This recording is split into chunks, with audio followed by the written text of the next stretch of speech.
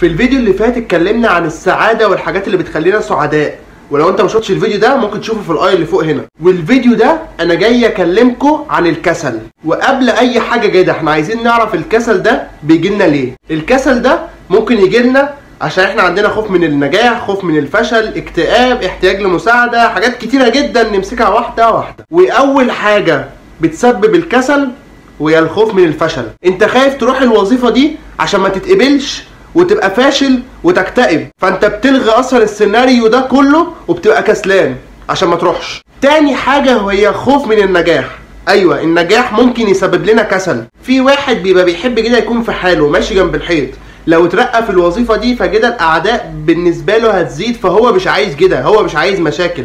فعشان ما ينجحش بيكسل عشان ما ينجحش. تالت حاجة بتسبب الكسل وهي احتياج المساعدة. اللي من الآخر كده اتربوا على الدلع. انت بتكسل تقوم تروق الأوضة بتاعتك عشان انت عارف ان والدتك هتقوم كده كده تروقها لك. والنوع ده لما بيجي ينزل أرض الواقع رابع حاجة هو ممكن تكون رد فعل عنيف بس غير واعي. إزاي؟ كتير مننا بنبقى ماسكين مثلا التليفونات وتلاقي مثلا والدك أو والدتك داخل بيزعق لك عشان تسيب التليفون وتروح تذاكر. فتلاقي مثلا مخك برد فعل بيقول لك هي مامتك أو باباك زعقوا لك عشان تروح تذاكر؟ طب إحنا مش مذاكرين خالص أصلا. وبيهيأ لك اللي أنت أصلا في حالة كسل عشان ما تقومش أصلا تذاكر.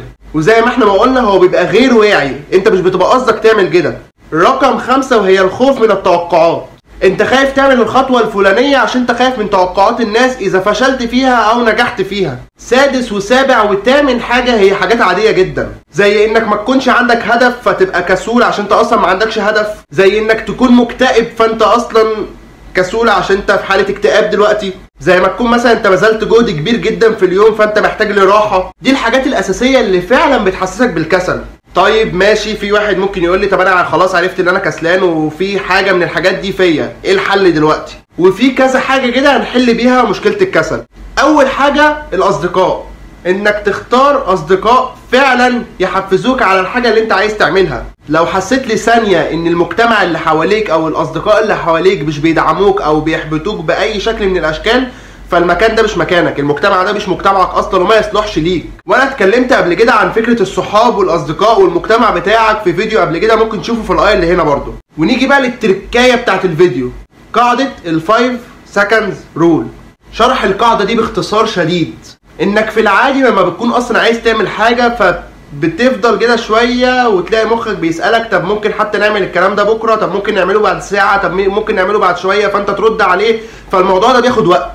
فكرة أصلا أنت أصلا تكلم نفسك وتفضل تاخد وقت بتاخد وتدي مع نفسك دي أصلا ممكن ما تخلكش أصلا تعمل أي حاجة قاعدة ال five seconds rule معناها إيه بقى؟ وهي إنك بتركز جدا بعد ما بتاخد القرار بتاعك وبتعد من واحد لخمسة وبعد ما بتخلص رقم خمسة بتقوم تعمل الحاجة دي على طول، ما بتديش فرصة لنفسك إنك تكلم مخك ومخك يرد عليك. العلماء شبهوها ب five seconds window، يعني هو شباك مفتوح لك لمدة خمس ثواني، لا تلحق لا ما تلحقش، 1 2 3 4 5 بتعدي خلاص. وتالت حاجة هي إنك تاخد بالك من الحاجات أصلا اللي بتسبب الكسل. والحاجة الرابعة هي ليها علاقة بالطلاب أكتر بتوع الثانوية العامة وبتوع الجامعات. وهي ممكن تكون أصلا أنت مش كسلان تذاكر أنت مش عارف تذاكر. الطريقة اللي أنت بتذاكر بيها غلط فأنت بتوهم نفسك إن أنت كسلان. ولو أنت طالب في الجامعة أو في ثانوية عامة أنصحك جدا إنك تتفرج على الفيديوهات اللي أنا منزلها بتاعت ثانوية عامة هتفيدك جدا. وخامس حاجة إنك تتفرج على الفيديو ده وما تعملش subscribe بعد ما تخلص وتدخل على صفحة الفيسبوك وتعمل like لل page بتاعت الفيسبوك